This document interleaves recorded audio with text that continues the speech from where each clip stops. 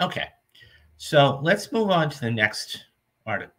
So the next story we have is fascinating because Steve Knight is one of those guys that he's done work before and now he's starting to even get more work.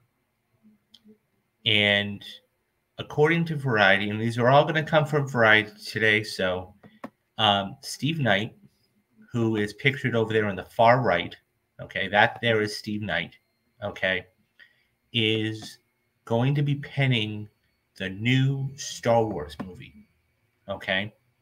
And it says here that Peaky Blinders creator Steve Knight is set to create a screenplay for the untitled Star Wars movie that Sharmeen Oberyn Khan, excuse me if I butchered his name, is attached to direct, as original screenwriters Damon Lindelof and Justin Britt Gibson have departed from. The movie is widely expected to be Lucasfilm's first Star Wars film since The Rise of Skywalker, the 2019's The Rise of Skywalker. More information about the film is about a, a movie, uh, including a possible title, is expected at the Star Wars celebration in London um, in April. So, Knight is a veteran screenwriter who launched his career specializing in gritty crime dramas, including the 2002's Dirty Pretty Things and the 2007 movie Eastern Promises, eventually branching out to light-hearted dramedies, including the uh, 100 Foot Journey and thrillers 2006 Allied. And he's done biopics, of course, uh, Kristen, uh, Kristen Stewart's Spencer. He's also created and executive produced the BBC period drama Peaky Blinders, which is on Netflix in the United States. Lindelof is best known for the co-creation of the television series Lost, The Leftovers, and Watchmen, brought on by Britt, uh, Gibson to write a Star Wars movie together. After turning in a draft earlier this year, the duo parted project in February, becoming the latest creatives to part ways with Lucasfilms after signing and developing one or multiple new Star Wars films projects to greater fan, fanfare. Earlier in the month, Variety reported that three separate movies, one shepherded by director Patty Jenkins, and that was supposed to be um, Rogue Squadron. The other produced and other Marvel chief Kevin Feige had been shelved by Lucasfilms and were no longer in active development. Director DJ Dillard, who just did uh, the Jonathan Majors film De- Devotion, told the Wrap in November that of 2022 that he was no longer developing a Star Wars project as a studio. And it goes on to talk about the different um, writers that were there. Look, here's the thing. Okay, no, you, you, no, you're you're right. Rogue Squadron did get canceled. So Rogue Squadron got canceled. Um, I don't know why. I think that would have been a. I remember the. Um, I remember the uh, the, the little trailer, thirty second trailer she did to uh, skate down the runway. That was fantastic, and have a life size uh, uh, X wing there. That was fantastic. I wish she had done it. I you know I don't know why they canceled it. Anyways, um, so that being said, now we have a new writer. And so a couple questions have to be asked. Okay. Number one is what is this going to be? Okay. What what is this Star Wars project going to be? Number two, I I I mean I guess okay, let me let me put it like this. I'm tired of Star Wars. I'm tired of Star Wars to the extent of the fact is we have had so much, and I call it oversaturation. Okay.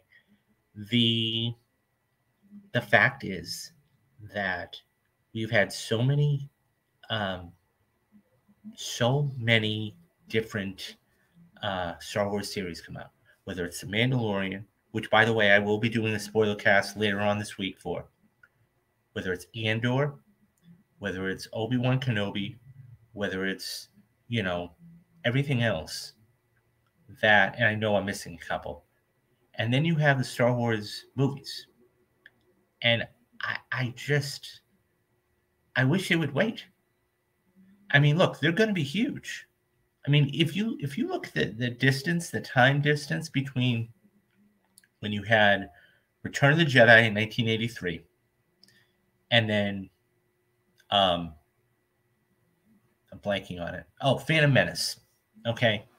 That was 16 years. 16 years. Okay. And then you had 05. Okay. And then you had 2015. And the thing is that it was 10 years. There has been so much content out there that I think people aren't going to respond. I'm not sure if a new trilogy possible Jedi phone or Italian. Yeah, I, I, I could see that. I mean, here, here's the problem though. Okay.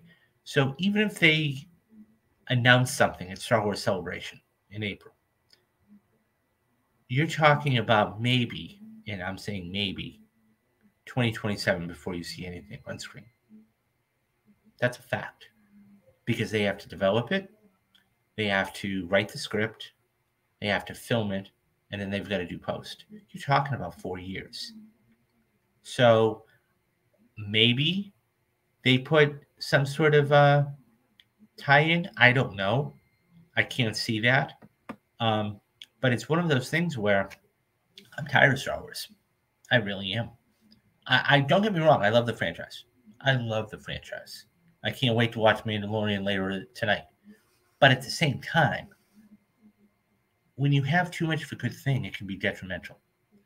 And I think that that's the problem with too much of a good thing, right? It's like Marvel.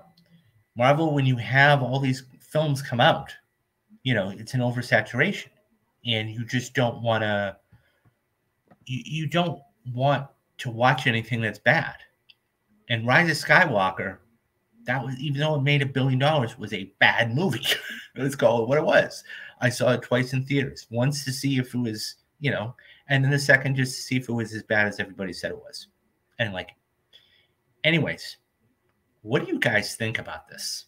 Do you guys think that you know there's too much Star Wars content out there now? Are you excited for the possibility of a new trilogy? Would you like to see a different story? Would you, what story would you like to see? Who would be the villain? Let me know down in the comments and answer all those questions down there, and I'll get back to everybody.